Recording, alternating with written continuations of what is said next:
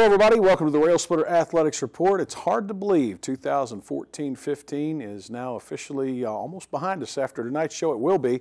Uh, this is the final show of 2014-15 season, and we're going to talk about all 17 Lincoln Memorial University athletic sports and how they fared this year.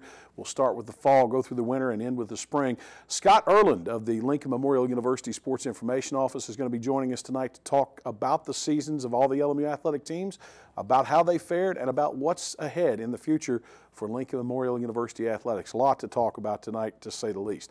Uh, as far as I know, right now, all LMU athletic teams are complete. I know uh, Braden Gallion of the Lincoln Memorial University men's golf team was in action earlier this week. Uh, I don't know if round play has uh, finished on that or not, but uh, we will talk to Scott Erland about that. He'll be able to bring us up to date a little bit more on that situation and let us know how he finished. So we're going to take this break. When we come back, we'll get things started. You're locked into the Rail Splitter Athletics Report. We have a big problem, and we need your help. It's happening on college campuses, at bars, at parties, even in high schools. It's happening to our sisters and our daughters, our wives and our friends. It's called sexual assault, and it has to stop. We have to stop it. So listen up. If she doesn't consent, or if she can't consent, it's rape, it's assault. It's a crime. It's wrong. If I saw it happening, I was taught you have to do something about it. If I saw it happening, I speak up. If I saw it happening, I'd never blame her. I'd help her. Because I don't want to be a part of the problem. I want to be a part of the solution. We need all of you to be part of the solution. This is about respect. It's about responsibility. It's up to all of us to put an end to sexual assault. And that starts with you. Because one is too many.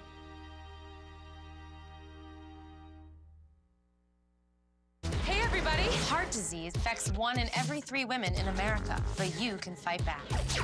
There's no time to lose. Mothers, sisters, daughters, families, and friends, it's time to shout louder, stand stronger, and demand change. Let's go! To the Batmobile. Dang it. To the invisible jet. Dang it. Together, we can put an end to heart disease. It's time to go red for women. I could use your help. Yeah! Learn more from the American Heart Association at www.goredforwomen.org. You love your car or truck? Let us help you keep it clean at Soapy J. Soapy J's has unlimited wash plans to fit every budget. Try our $5 express wash or one of our three monthly wash plans. The Wheel Deal, the Soapy J, or the new Blast Wax. With our monthly wash plans, if you pay with credit card, all you do is pay for the present month and your card will be billed on the first of each month. Don't forget Soapy J's has free vacuums with any wash. Soapy J's Express Car Wash open seven days a week. Let us help keep your car or truck clean at Soapy J's. Soapy J's on the Cumberland Gap Parkway, Middlesboro. Welcome back to the show. Let's get started. The 2014-15 Lincoln Memorial University athletic season went off with a bang when the LMU men's soccer team rolled over former Gulf South Conference sister member Alabama Huntsville 3 to nothing in Columbus, Georgia to get the year started. The victory would be the first of four straight to open the year for the LMU men, including SAC victory over Coker College to open the home schedule before the Wolves of Newberry College stopped the rail splitter momentum with a 2-2 double overtime tie in South Carolina. The blemish seemed to be one that the LMU men couldn't shake as Mars Hill, Lenoir-Rhyne, and non-conference opponent Lees-McRae all handed the Rail Splitters consecutive losses following, thus putting the LMU men at 4 3 and 1 at the midway point of the 2014 fall season. After the loss to Lees-McRae that opened the month of October, the Rail Splitters showed new life by capturing a 3-1 win over Brevard in Harrogate, but were again kept at bay when they played to a two-all tie with arch rival Carson Newman in Jefferson City. Despite reeling off back-to-back wins in their next two outings, the Rail Splitters were never able to regain the swagger that they had to open the season as they endured uh, one tie and three losses to close the year, including a 1-0 loss to the Lions of Mars Hill University to end the 2014 campaign with a 7, 6, and 3 overall record and a 4-4 and 3 conference mark. Here to talk about the uh, season uh, for the Lincoln Memorial University men's soccer team is Scott Erland. And Scott, I know that uh, the Rail Splitters uh, really you know, they, they got off to a great start, but unfortunately, uh, it just it there was something that happened midway through this year that, that really just set them back. Yeah, I don't really know what it was.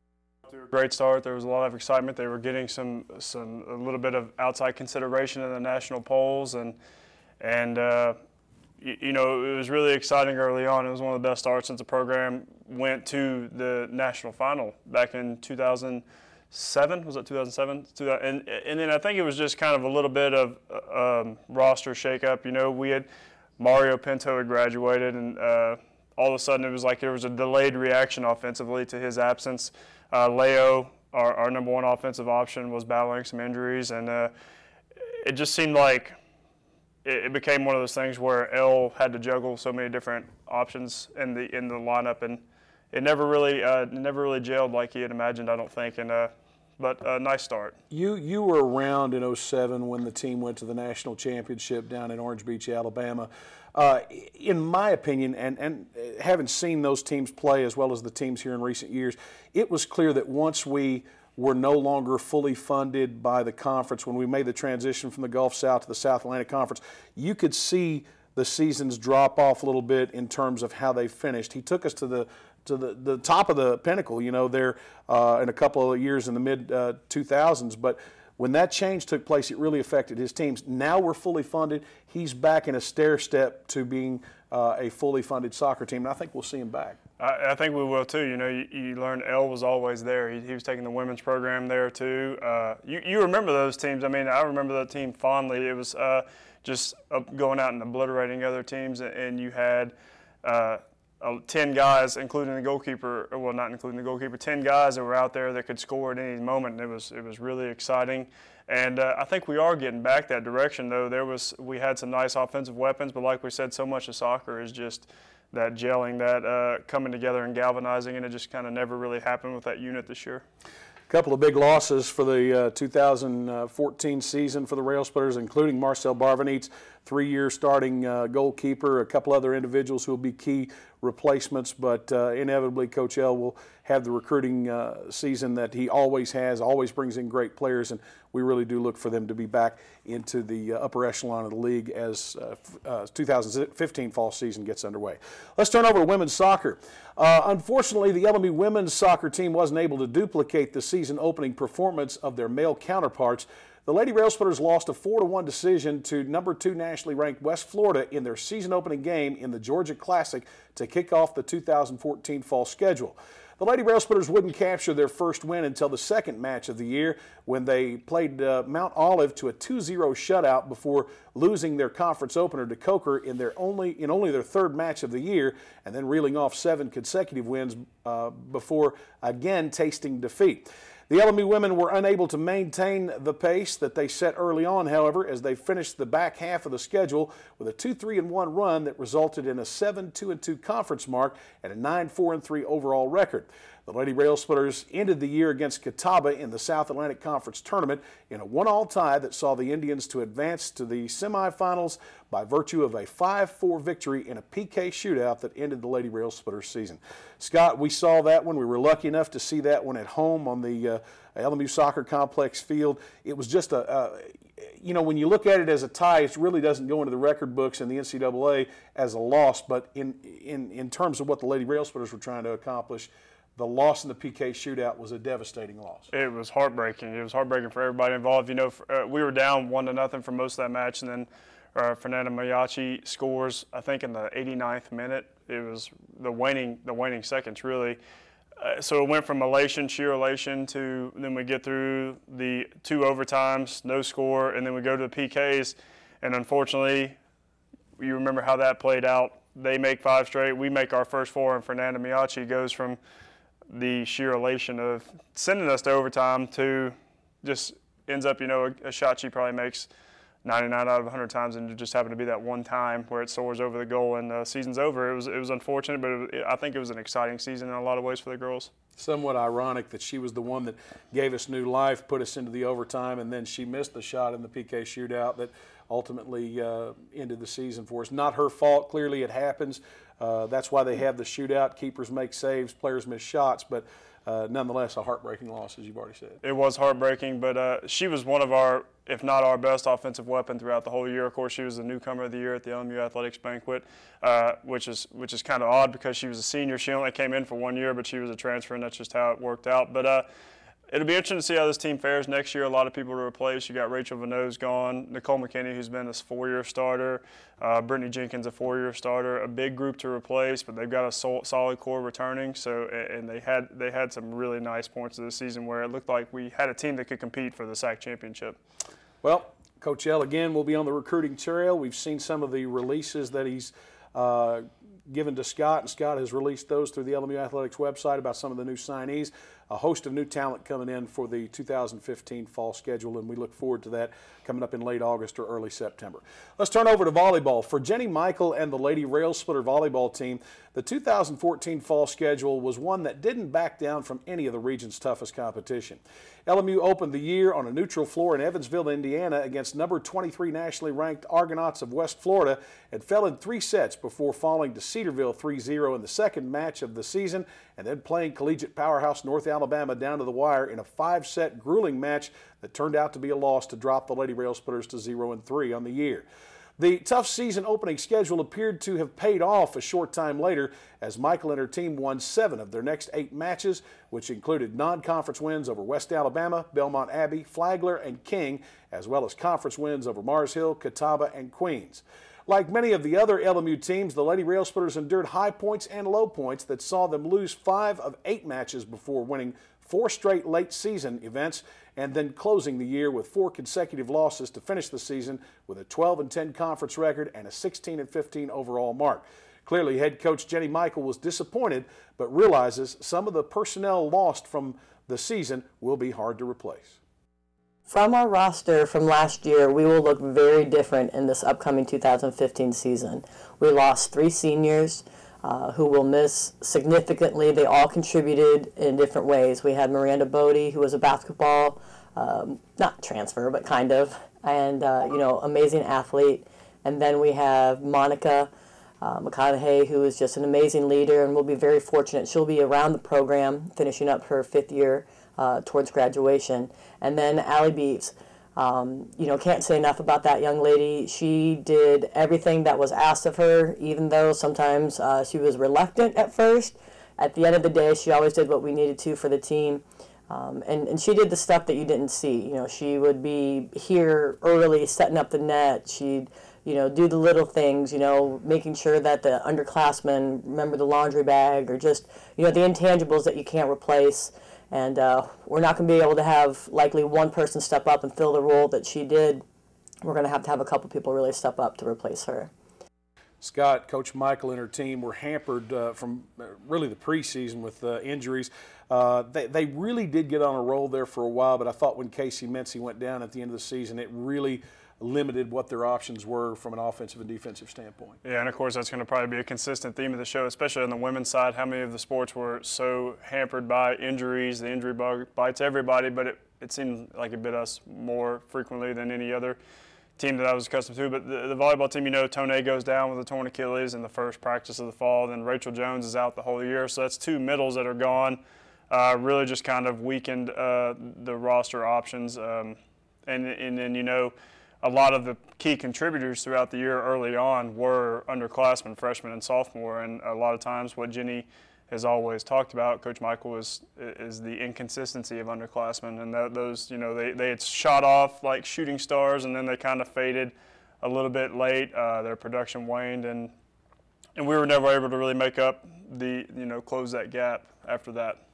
That can kind of be a double-edged sword, though, when you look at it. I mean, the the uh, the, the grueling losses that you have to go through in a, in a season like that can pay dividends for you in the next year because now those player, players are uh, tested trial by fire.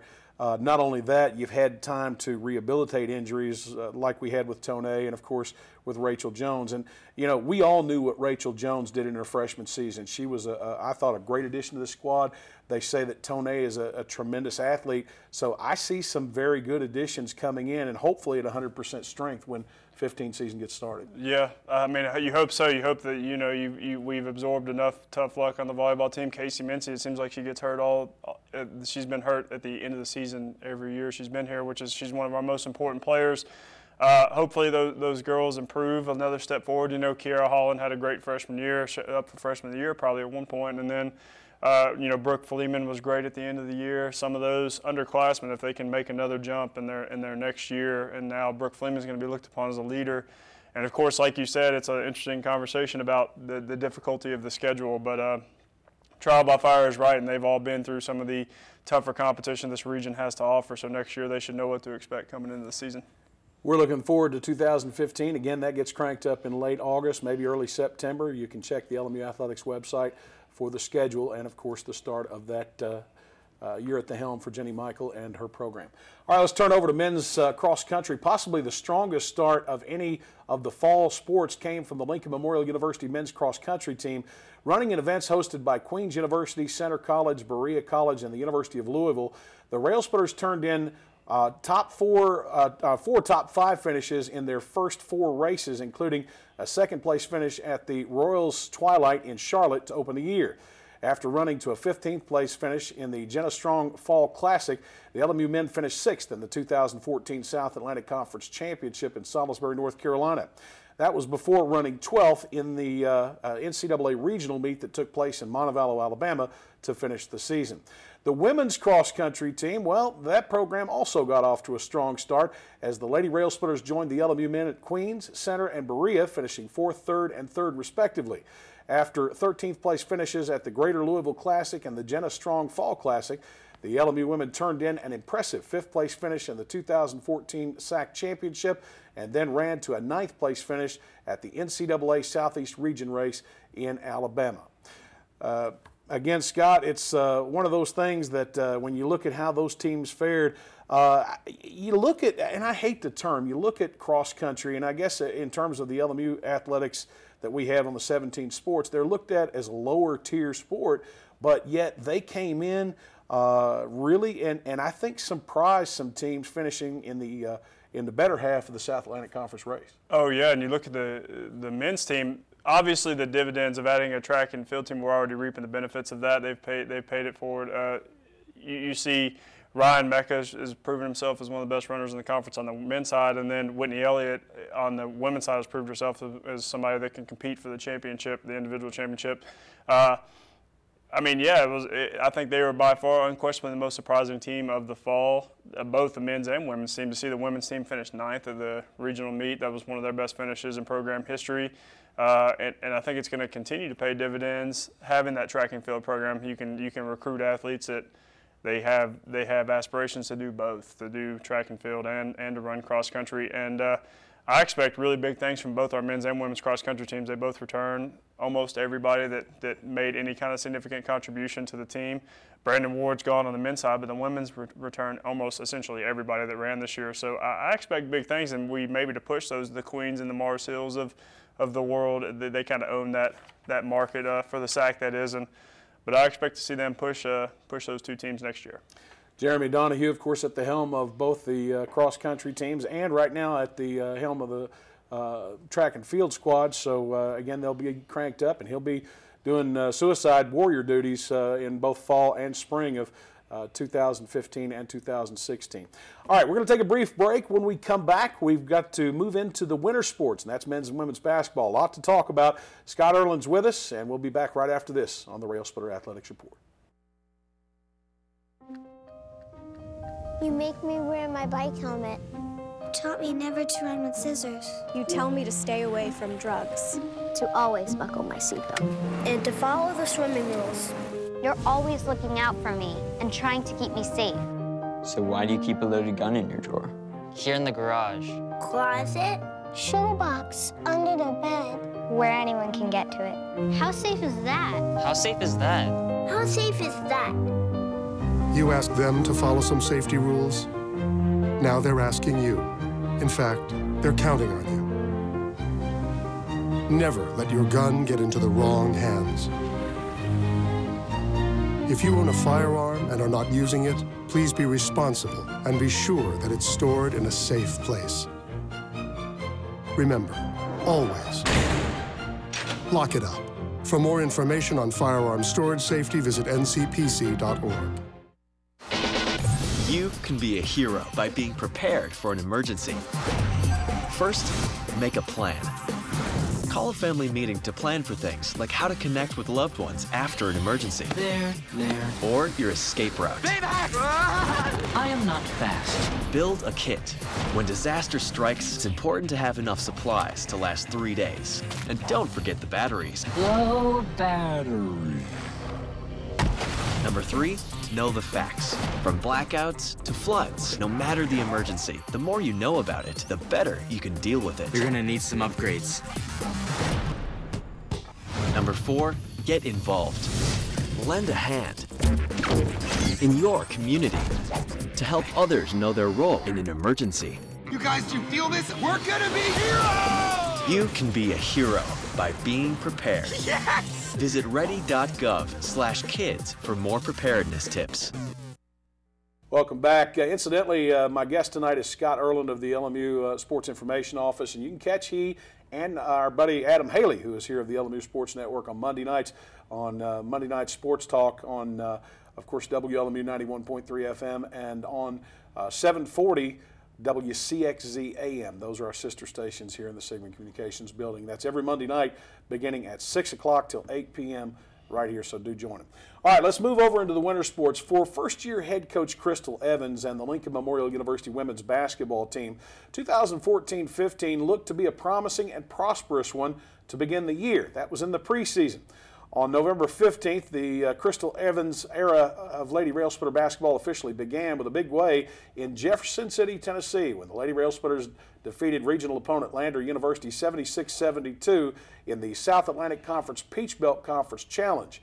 LMU's season opening victory was tarnished somewhat on day two of the event when the Pacers of the University of South Carolina Aiken came from behind in the second half to hand the Lady Rail Splitters a 77-70 loss and to saddle them with a trend that would remain with the LMU women for the entire season.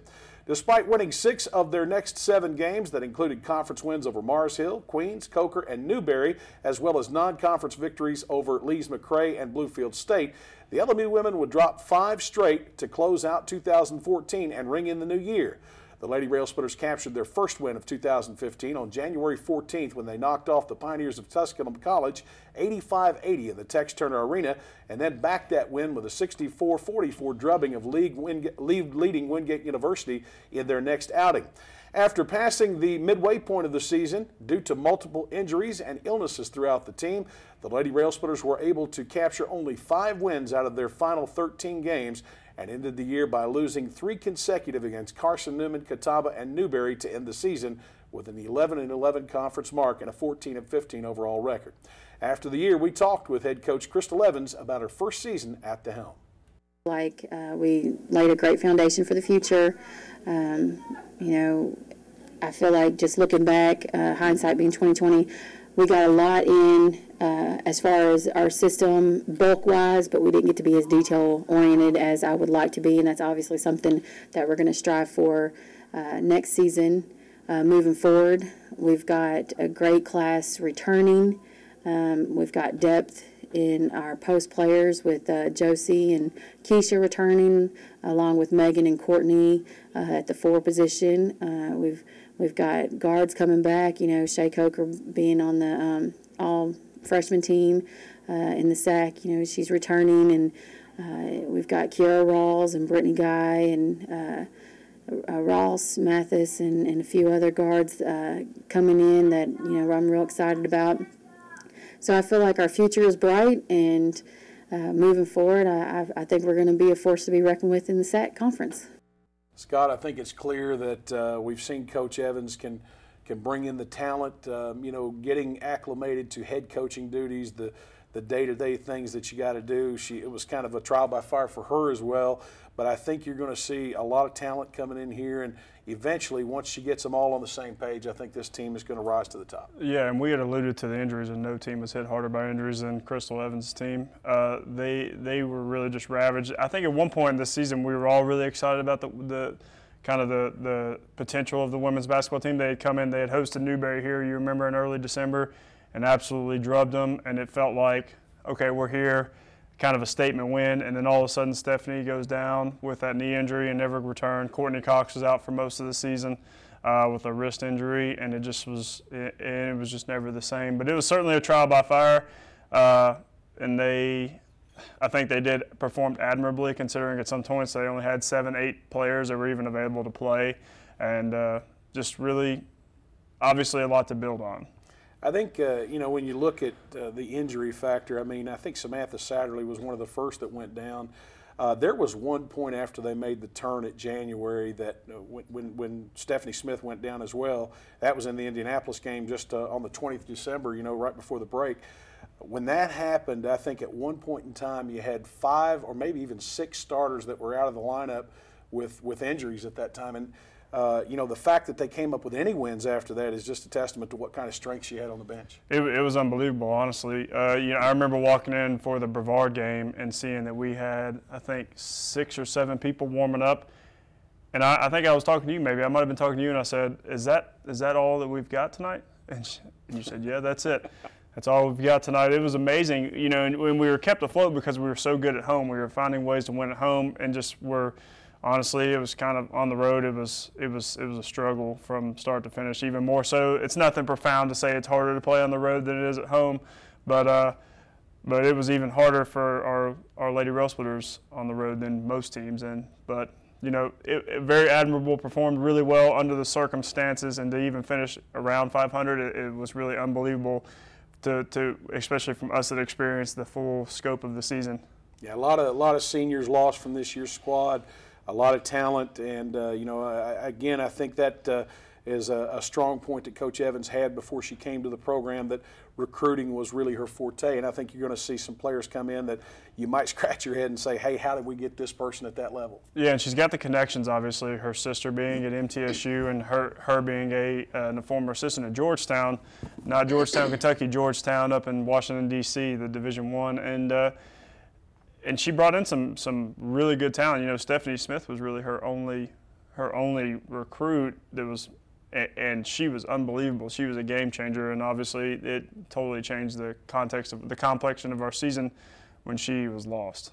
I know that uh, Coach Evans is uh, right now in the midst of getting ready for some camps along with uh, her assistant coaches. And uh, she is still in the process of recruiting for 15 16.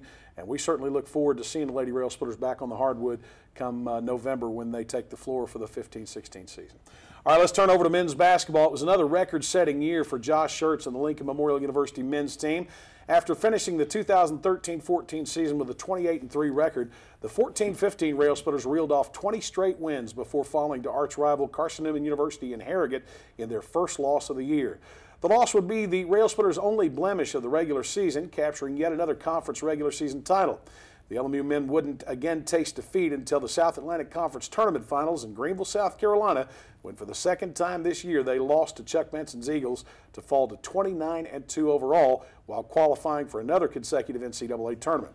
Despite the setback, the Rail Splitters were still ranked among the top five teams in the country and earned the right to host their first ever NCAA Southeast Region men's basketball tournament as the region's number one seed. In their opening game of the event, the Rail Splitters were, uh, power was showcased uh, when they knocked off number eight seed North Greenville University 95-62 to advance to the tournament semifinals.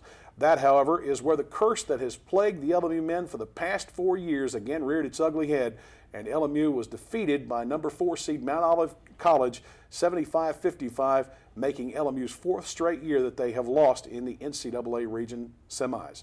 Schertz and the LMU men ended the year with a 30 3 overall record, which included another regular season conference title, uh, the program's second ever number one national ranking, the most wins in single season in Lincoln Memorial University men's basketball history, and another entire season of being nationally ranked without falling from the top 25, as well as numerous other team, individual, and program accolades.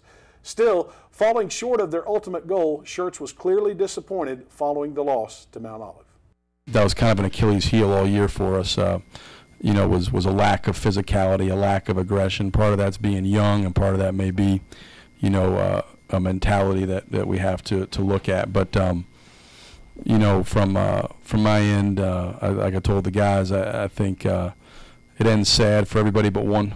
You know, uh, uh, everybody but one team out of 300 loses. Um, I know there's a notion which I disagree with that if you're, you know, not the last team standing, that uh, somehow you know you're a loser or you were kind of had your hand in the cookie jar and and uh, you know you got caught with that. But I, I don't I don't agree with that. Uh, these guys are nothing to hang their head about. Um, you know, 30 and three. Uh, you know, set the conference and school record for wins and. Uh, got to number one in the country and, and won a championship and um, really I thought represented the university very very well. We're disappointed obviously bitterly with uh, how we played today and um, you know it was it was on both ends of the floor uh, that was that was disappointing. Like I said I, we hung in but uh, we weren't able to, to get any stops in the second half once we started making some layups and some, some threes. Scott, uh, I mean, you know, you see the disappointment obviously on the players uh, uh hanging their heads right there a little bit. Uh, Josh uh, obviously, the tone of his voice disappointed. This this is this has become a curse, really. That I mean, four straight years in the semis. Most teams would give their eye teeth for a, a, a record like we finished with, but ultimately, this team strives for excellence, and and you know, not winning the SAC tournament title, not winning the uh, region title was was not what they set as goals before the season started. Yeah, I mean, it, it was honestly it was one of the most fun seasons I've ever gotten the pleasure of covering there throughout the year, but it was also, also bittersweet, you know. To look back on it, you think of the three losses were really tough to swallow, especially that last one. But uh, you know, at the end of the day, it was a it was a really another great season, like you had said, a SAC single season record for wins and winning percentage, and another SAC championship, and they and they really won it, I think, by eight games or seven games or something ridiculous. But um, it was a lot of fun. It was just, uh, you know, at the end of the year, I think we were kind of living on borrowed time. Coach Schertz had, had alluded to that, and and uh, just got a really bad matchup against Mount Olive, who ended up going on to win the Southeast region. And uh, y- you know, obviously, still another year we're looking to make that that next step go on to a region championship which would be the sweet 16 you know and that's kind of like just to put it in the context of division one and uh, but uh, obviously bittersweet but still it was an absolute joy to cover that season i know you probably felt the same way getting to getting to do the radio call for every single game absolutely it was a it was a lot of work i mean you know as well as anybody the tournament was a lot of work to put together and to host but it was uh, it was a pleasure to have it there. I think we had the facility for it, and definitely people enjoyed this year's tournament. I think we hit the ball out of the park on a lot of different areas of the tournament. Uh, going back to the actual season, though, I mean, when you look at Mount Olive, this is not a shabby team that beat this rail splitter team. Joey Higginbotham's club captured lightning in a bottle at the right time of the year, but they were nationally ranked all of the season. They were uh, they were a, a, good representative of the Southeast region in the Elite Eight. They played hard and they took it down to the wire. Uh, when you look at Coach Schertz's team, though, Scott, people ask me on a daily basis, are we going to be able to do next year what we did this year? At some point, uh, you have to ask yourself, when are we going to have that down season? He just keeps raising the bar and raising the bar. Yeah, it's unbelievable when you look at kind of you know, there, there's great athletes going to every school now. There's so many great athletes that are raised. They're from the beginning. They're raised to play basketball. They're and you know you see the Newberries of the world that are coming. The the Wingate's going to be better. You know, Catawba's going to be really good, and it's just. And, and he's filled with these questions year after year. When he lost to Mario, and when he lost Desmond, it was when he lost, you know, Vinny last year. You thought that it was going to be hard to recover. That was one of the best single seasons that probably, arguably, anybody's had since Schertz has been here and then you know he loses another All-American in Lorenzo. and it's just one of those things where at this point you just learn to trust Schertz that he's got. He, he um, for for my money, he's the best coach in this level, Division two, and uh, and it just year after year after year, he's get those guys back on track, and and he's and you just learn to trust him. You know that it's going to be another fun year next year, no matter who we lose. Took me a while to do that, but I agree strongly, and I can guarantee you we're going to have him for another year in 15, 16, and that's coming up in November. The recruiting process has been strong thus far, and we've got a great uh, team that's going to take the court next year. All right, we got a lot to talk about in spring, so we're going to break away again for a timeout. When we come back, we've got the rest of the LMU sports, and there's a bunch of them. Stay with us right here on the Rail Splitter Athletics Report. At Citizens Bank, we're different from everyone else. We've proudly served business communities of Northeast Tennessee since 1912 and have security you can count on. We offer the convenience of internet banking, excellent loan services on various types of loans, cash management, and small business banking at all of our convenient locations in Harrogate, Tazewell, New Tazewell, Bean Station, and Morristown. Visit our website to find out more at citizensbanktn.com. Citizens Bank, no more banking as usual. Equal housing lender, member FDIC.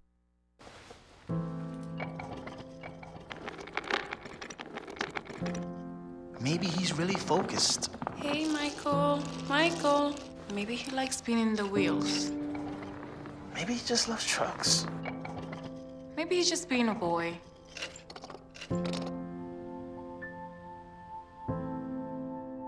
Preoccupation with objects is one early sign of autism. Learn the others today. The sooner it's diagnosed, the better.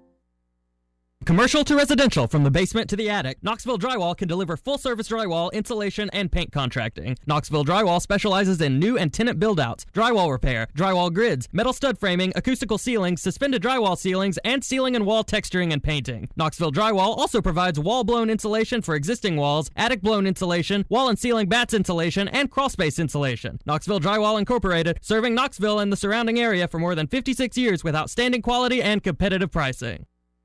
Whether institutional case good or architectural woodwork, Nolan Products Incorporated of Knoxville has been serving East Tennessee, Southwest Virginia, and Southeast Kentucky since 1958. From concept to finish, Nolan Products custom builds to the highest quality standards to meet your facility specifications while using only the finest materials available. Nolan Products has been serving and meeting the needs and requirements of general contractors and architects in East Tennessee and surrounding area for more than 55 years. Nolan Products Incorporated, 912 4th Side Street Northeast, Knoxville.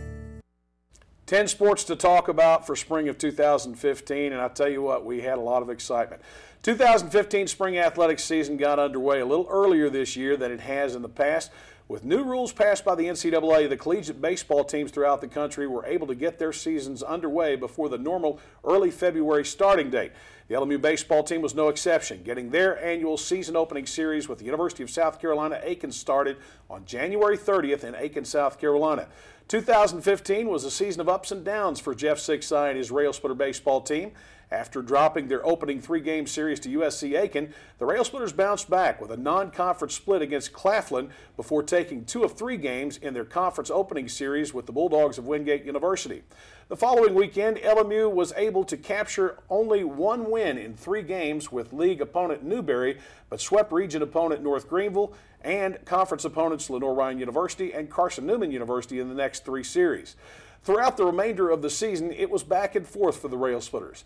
LMU would sweep non-conference opponents UVA Wise and Ohio Valley University, as well as SAC opponents Mars Hill University and Coker College before the end of the planned schedule. The regular season effort earned the Rail Splitters the number four seed in the 2015 SAC tournament, but unfortunately, LMU was ousted from the event in back-to-back games, falling to Tusculum and number five nationally ranked Catawba in tightly contested battles to end the year with a 24 22 record. After the season, we talked with head coach Jeff Sziksai about 2015 and about the players he has to replace. Graduation, um, you know, feel like we got a strong core coming back. Um, pitching wise, we, we got all of our uh, top uh, top three this year coming back. Um, really only lose two pitchers. That's Burleson and, and Morbido, two of our top relievers, though. Um, so going to lose a lot offensively. Um, so we're going to need to, to replenish there. Um, but I feel good about where we're at with the guys we got returning on the mound, and they need to get better this summer, and uh, along with the guys we got coming in. So losing quite a bit uh, from an offensive and defensive standpoint, but I feel good about uh, the guys in the program getting better, and also the guys we got coming in. Scott, it was up and down for the Rail Splitters this year. You know, there are, there are people that feel like this might have been uh, Coach Sziksai's best hitting team in the 11, 12 years that he's been at the helm. Uh, but unfortunately, they made an early exit from the tournament, uh, being the number four seed. Yeah, and, and I was at that tournament from start to finish, and, and the the that there was a high quality event. There was eight legitimate teams that could have won it, and, the, and our two games are the only two games that were even really competitive in that whole thing, which is a entirely different story that we don't have time to discuss probably. But uh, you know they they they were unbelievable hitting the ball. Probably one of the best teams in the country hitting the ball or the first through the first month, month and a half, and then for some reason, whatever happened, the bats just kind of you know dwindled away a little bit, and, and they could never recapture that offense. And a lot like what Coach L was having to deal with, he was trying to shuffle the lineup, trying to refine that, rediscover that magic, and uh, and uh, you know it never just came to fruition, and kind of never rediscovered it, and it just the kind of a strange year, really, and uh, no other way to really describe it. We've seen Six a couple of times go through seasons where he's uh, lost, lost lost a lot of position players. That's the case this year. He's going to not necessarily undergo an overhaul, but he loses a lot of key guys, and so recruiting is going to be a, a, very strong aspect for him this year. Oh, and he's already got a nice, a really nice recruiting class. He's starting to see the, uh, you know, the the benefits of winning that conference championship. Now there's guys that are wanting to come here. They're starting to compete for the upper echelon of that SAC. Uh, the SAC standings and stuff, and you know, in a lot in a lot of ways, what we talked about, how Schertz, you know, that Schertz is always going to be able to you know, get his team back to that, that pinnacle, you know that no matter what offensive weapons Sziksai win, loses, he's going to be able to bring him in. He's going to be able to replace him, and, uh, and the bats will, the, will still be swinging and will still uh, produce offensively next year. Well, while the official season doesn't get underway until late January, early February, you can always catch the Rail Splitters in their fall intra-squad series. Uh, they have a World Series that they play on the Lamar Hennon Field. It's a lot of excitement. It's under the lights usually and uh, it's it's always a, a, very fun and interesting event, and that comes up sometime in September or October. So uh, you know, keep your eyes attuned to the lights in the sky of the night in the Harrogate area for that uh, fall baseball from Lincoln Memorial. Let's turn over to tennis. The Lincoln Memorial University tennis teams were next to get the spring season started. Both traveled north to Richmond, Kentucky, where they opened the year against NCAA Division I Eastern Kentucky University. Although the LMU tennis teams were both defeated in their season openers, the match against Division I uh, Eastern Kentucky didn't hurt LMU's season nearly as much as Mother Nature did. Following their February home openers against Young Harris, in which the women won and the men lost, neither team was able to compete again collegiately until a month later due to record amounts of snowfall throughout the tri state area. When they were able to get on the court again, the Bulldogs of Wingate University crushed both teams in conference play to keep them in search of their first leagues of the year, uh, win leagues of the year, win leagues of the year. Eventually, both teams captured those wins, but it was the LMU men that excelled most, despite having lost five players from the previous season, as they finished fourth in the 2015 SAC regular season standings. But like the LMU baseball team, the men's tennis team was sent home following the opening round with a 5-0 loss to Anderson University's Trojans yet to end the year with a 7-8 overall record, while the Lady Rail Splitters ended the season with a disappointing 5-9 record. Several weeks ago, we talked with head coach Benny Collins about this year's efforts, and here's what he had to say. Started out very strong. You know, we uh, we opened up with the University of Cumberland and played Eastern Kentucky, a D1 team. Uh, looked really strong. We played, we beat Young Harris, and the same weekend, Young Harris beat the heck out of Carson Newman. We looked really good, and then we had that four or five week all spell with that bad weather and all that snow, and we ended up coming out of that with two of our main players hurt. So uh, you know, we started once we started back, we were snake bit from the from the get go right there. So and uh, we never did really recover from all those injuries, and it was just helter skelter trying to get the lineup in there and get to play through it. It was tough. We lost five seniors the year before. We brought in four new players. Uh, these four new players come in and played at a high level. They were very talented. Uh, you know, I told the guys, I said, our, our, realistic goal this year is to make the conference tournament with this basically new young team, and we did that. So uh, they did it. I didn't do it. They they done it. So that that really impressed me. That was that made me feel good, and we could have won a couple more matches, just a few more points here and there. But we're going to lose senior Will Sparks, and we're going to lose senior Stephen Hall. These two guys have been. Uh, Stephen's been here five years. He uh, he missed one year. He had a, a, medical problem, had to go home. But anyway, uh, we lose those two guys, and everybody else will be back. Uh, I've already got one guy ready to sign. We've got a Spanish guy ready to sign. We're going to pick up another player or two. Uh, and so, with adding a couple two, three really solid players. With the lineup we, we got returning, we will be right there next year. We'll be very competitive. Scott, I think he's going to have a lot of talent coming in for 15, 16. But I, you know, I go back to that stretch where that snow kicked in here in the tri-state area.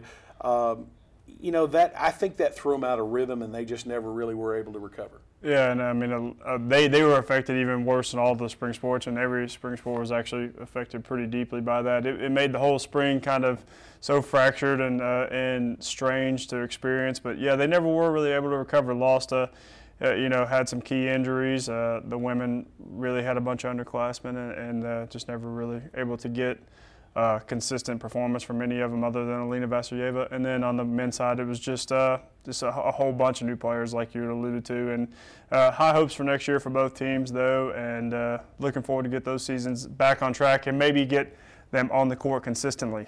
Well, if Coach Collins has strengths, it's teaching fundamentals and definitely recruiting. And we know that uh, he'll take his, his end of the recruiting uh, brunt here coming up uh, this summer if he hasn't already signed some key players for 15-16.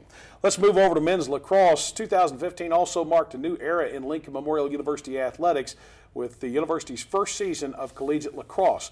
Head coach Ryan Kuhn and his Rail Splitters played their first game in early February in Franklin Springs, Georgia, and lost a 10 7 decision to Emmanuel, but bounced back to take a historic 15 6 victory over regional opponent Lees-McRae in their next outing at home at the LMU Lacrosse Complex. The victory, while both historic and sweet, was no indication of what Kuhn and his first year program would endure throughout the 2015 season. The LMU men lost their next seven games before capturing their second win against CSU Pueblo. The victory gave the Rail Splitters a much needed shot in the arm, and including the win with Pueblo, Pueblo, the Rail Splitters won three of their last five games, picking up wins over both North Greenville University and eventually Asbury College to close out the season with a 4 and 10 mark.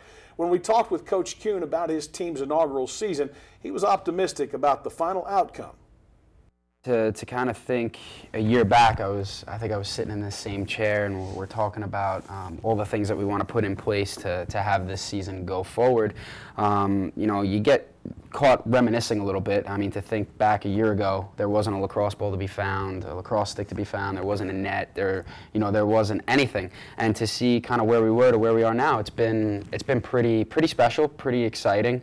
Uh, you know, obviously we fell short of our goal uh, this season, but I, I think there's a lot of stuff to, to be proud of, and it was a season of firsts, and it definitely won't, it won't be a season of lasts. That's for sure. Scott, Coach Kuhn is no stranger to starting programs. He did it before he came to LMU. Uh, his kids come out, they play with a lot of energy. Despite the record that they had this year, I mean, I saw energy from them entire game, uh, entire season, uh, and I think you're going to see nothing but this team get better as he brings them out for season number two. Yeah, I absolutely agree. That, that it was a really exciting season. It, you know, obviously for all of us in our office and our in general, we were learning a new sport and, and, you know people see the four and ten record and they and they think oh it wasn't a great season. It was the first year. Not but the, the, the different the margin between them being four and ten and say eight and six was so slim that um, and it's hard to really put into words unless you were there in a first-hand experience. And and, and you know he brings everybody back. He I think he really surprised and shocked a lot of the people in the conference. They thought that we were just going to lie down and we were going to be uh, you know just an easy win, which that wasn't the case at all. We were a team that challenged uh, on a consistent basis, to challenged everyone in the conference, and and I wouldn't be surprised if next year we're we're up there and we're able to maybe make a push for the upper half of that conference and, and make our way in the tournament and see what happens. You got to remember that team consisted of freshmen sophomore, and uh, you know while we didn't pick up a conference victory, I really do see that coming in 2015-16.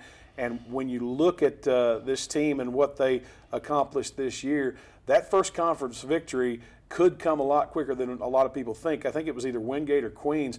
That was a, a, a, very close game until late in the contest, and we could have very easily won it. Yeah, both those games were very close. You know, we go scoreless against in the fourth period against Wingate, and, and I think it was a one goal match, and then and then Queens, I think we led at halftime of that one. Or um, you know, and those are teams that are, are already well established nationally and uh, in the conference, obviously and and just to be able to make that kind of impact on teams at that level was nice. All right. Again, the season will get cranked up in the fall and off-season conditioning and off-season practice. He will have a minor schedule, but officially a spring sport. We got a bunch of those with the addition of men's and women's lacrosse and, of course, track and field. Let's move over to women's lacrosse. The women's lacrosse team, the 2015 season proved to be more difficult. Also in their first season of collegiate eligibility, head coach Caitlin Karasi and her Lady Rail Splitters began the year with short numbers and with inexperience as their handicaps.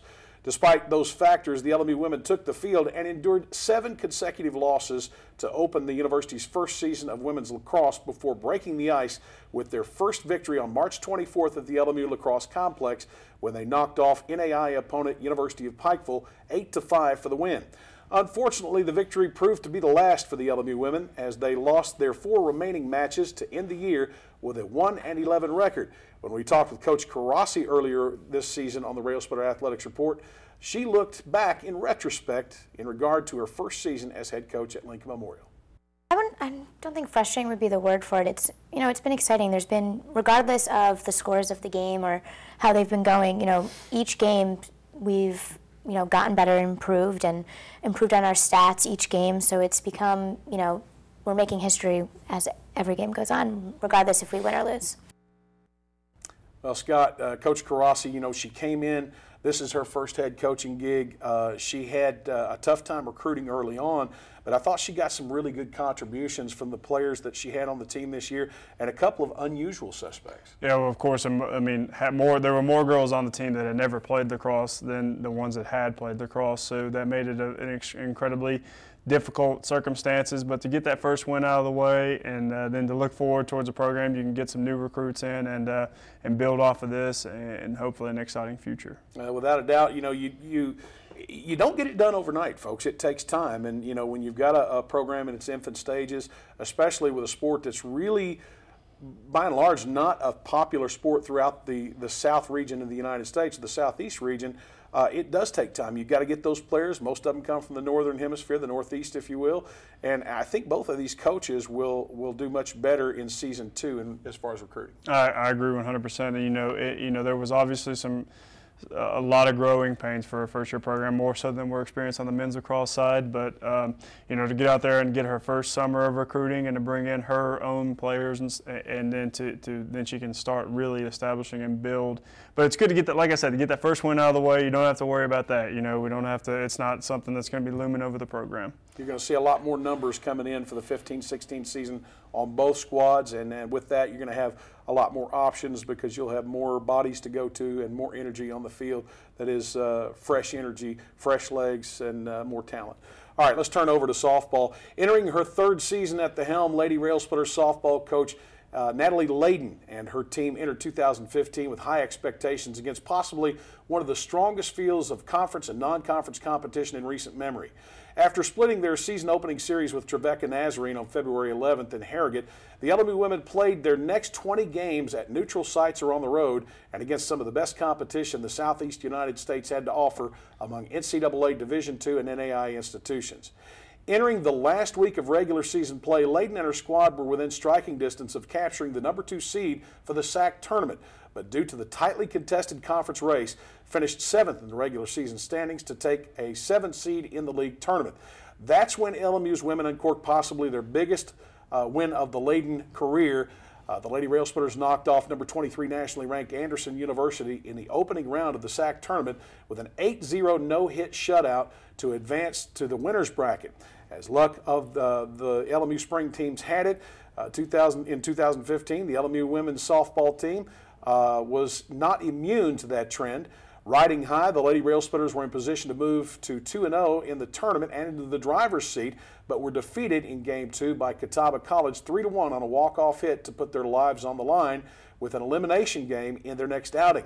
Realizing the next loss would end the season and possibly send them home, Layden's team put together an inspirational performance again, and the Bulldogs of Wingate were on the losing end of that in a 2 to 1 decision before LMU eventually fell to the wrath and the payback of the number 23 nationally ranked Trojans in their second meeting of the tournament with Anderson in a 3 to 2 loss, which ended the year with a 500 record at 24 and 24. Last week, we caught up with Coach Layden and got her thoughts on her team's effort in 2015 things as far as increasing the regional rep of our program. And, you know, we ended it with a bang in our, in our conference tournament. We put up a fight, and it definitely wasn't a walkover game by any means. Uh, you know, you look at it, you finish fourth in the tournament. Uh, we've got four teams in our tournament that were also regionally ranked, uh, one that we run ruled in it. And then, you know, you look at four teams who didn't make the tournament. So overall, it was a positive season. Um, you know, we, we graduated a good class and a good group of seniors who really contributed a lot to our program this year. And, you know, it was nice to see our, our junior college athletes step up and really start to contribute more this year. And, um, you know, we got a lot out of them, especially Megan Tice in the conference tournament. She hit three home runs there. And, uh, you know, our, our junior pitcher, Sam Smith, stepped up and she threw a, a no hitter in game one against Anderson and, and did some really good things. Scott, uh, team at 24 and 24. We wish they could have done better this year. They had some good, uh, some good outings, but they've got to find a way to sweep those series rather than split. Yeah, you know, you know they were really short-handed this year. That was kind of the inside joke among the team. They had some injuries and some players that didn't really pan out. And uh, but anyway, you know, they really picked it up at the end of the year. Got on a got on a ridiculously hot streak and carried that into the tournament, and, and just became a few pitches away from really from really making that a memorable event. All right, we're pressed for time, so we're going to move on. One team that uh, wouldn't be denied a strong finish this year was the Lincoln Memorial University women's golf team. Led by four seniors, this year's Lady Rail Splitter golf team turned in top 10 finishes among the 11 multi team events in which they participated. Including the fall schedule, the, the uh, season was highlighted by second place finishes in the Anderson Invitational, the Tusculum Fall Classic, and the Pioneer Classic, as well as a number one first place finish in the Southeast Kentucky Invitational held in London, Kentucky. While the LMU women fell short of their quest to win the 2015 SAC championship, their fourth place finish at the event was highlighted by senior Lindsay Davis earning medalist honors as she was named the overall individual winner of the tournament. With a solid foundation of talent returning next season, LMU head coach Travis Muncie and his Lady Rail Splitters could be pushing for the university's first women's title when 2015 gets underway the women's team, you know, we're in a slow progression. You know, we finished eighth last year. We've moved to fourth, so you know we're right there. You know, to contend for titles from here on out. You know, we're getting the caliber players that we need. We're playing well. In you know, and you know, hoping that the golf course fits our our play. You know, and it always comes down just between a few shots. You know, here and there. And you know, women's golf is a little more volatile. I mean, if you looked at some of the scores, I mean, some girl might have shot 78 one day, then 88 the next. You know, it, it's a little more volatile than men's golf because uh, just the conditions and, and the way the course plays. The 14-15 season left the highly decorated Lincoln Memorial University men's golf team with a lot of accolades to support. Led by three uh, conference decorated veterans, the Rail Splitters posted 11 top 10 finishes, including first place performances in the Tusculum Fall Classic, the State Farm Intercollegiate, and the Tennessee River Rumble, and were the favorites to win this year's South Atlantic Conference Championship in late April. As luck would have it, the LMU men endured what many of the other Lincoln Memorial University teams did this season as they turned in a lackluster performance and tied for fourth in the event. The LMU men lose two of their top performers to graduation, but return a host of young talent that is expected to pick up where this year's team left off, putting the Rail Splitters right back at the top of the upper echelon of the men's programs throughout the league. Now, let's turn over to lacrosse very quickly here, as or, I'm sorry, to uh, track and field as we're pressed for time. We don't want to leave anybody out. Although they competed in more events than originally expected this season, the newest additions to the Lincoln Memorial University athletics departments, the track and field teams, were originally supposed to have participated in only the long distance categories. With several late additions to both rosters and the addition of several dual sport athletes, the 2015 LMU track and field teams each finished seventh in their first conference championships. Most who anticipated this team's efforts this year never expected the teams to do quite as well as they did, and the season's final outcome may be a prelude of things to come in the future, if that's not redundant, to the LMU Spring squads. Uh, with the addition of the host of, uh, of, a host of athletes next season that will focus more on the field events, the LMU men's and women's track and field teams could already be making their bid to push for a future South Atlantic Conference championship. And Scott, uh, you know, we, have we, talked golf, we've talked uh, uh, softball, now we're talking um, uh, track and field. So many sports to keep up with in the spring. How do you guys do it down Sports Information? Uh, I don't really know. I think I, I, think I just black out and then just kind of, and then I wake up a couple weeks after it's over, and then I, I'm amazed that I made it myself especially it was already hard enough, and then you add lacrosse and you add track and field. Of course, track and field was a little easier to handle this year because of the uh, just it was a pretty transitory program. It, right now, it's not a full-fledged program, but they really surprised this year. It was really fun, kind of to, to watch their progression. They got some really nice athletes that are that are going to be fun to watch for the years to come. But uh, to answer your question, I don't really know how I make it. I just uh, now I'm here. I don't even know how we made it to May, but we're here never being a runner, I'm kind of looking forward to the field events. You know, the stuff like the shot put, the discus,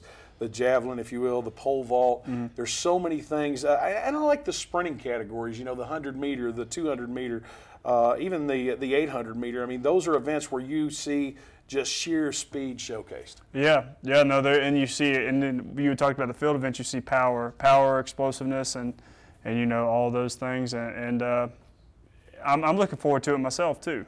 Scott, we've got less than 30 seconds. I want to thank you for joining the show. It's hard to believe 14 15 is behind us. I know, it's crazy. Uh, it's been a whirlwind year, as it always is. And looking forward to another one. No doubt about it. But before we look forward to that, or we're going to take a break, uh, and I'm talking about for the summer. So we'll see you again in 2000. Uh, Uh, 15, that's August when we start to show up again, and we've got the 15 16 season ahead of us, and we certainly hope that you've enjoyed this season of Lincoln Memorial University Athletics. For everybody behind the scenes of the Rail Splitter Athletics Report, I'm Rusty Peace. I'm Scott Erlin. And this has been the Rail Splitter Athletics Report. See you in August.